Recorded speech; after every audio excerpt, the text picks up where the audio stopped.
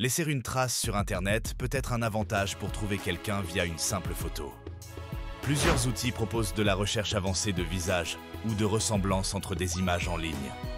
Les services comme Social Catfish, Google Images, PMIs, Bing Visual Search et TinEye peuvent vous être d'une grande aide.